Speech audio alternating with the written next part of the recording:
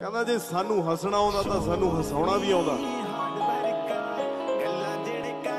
ਰੋਇਆ ਮੈਂ ਵੀ ਬਹੁਤ ਆ, ਪਰ ਮੈਨੂੰ ਰਵਾਉਣਾ ਵੀ ਆਉਂਦਾ।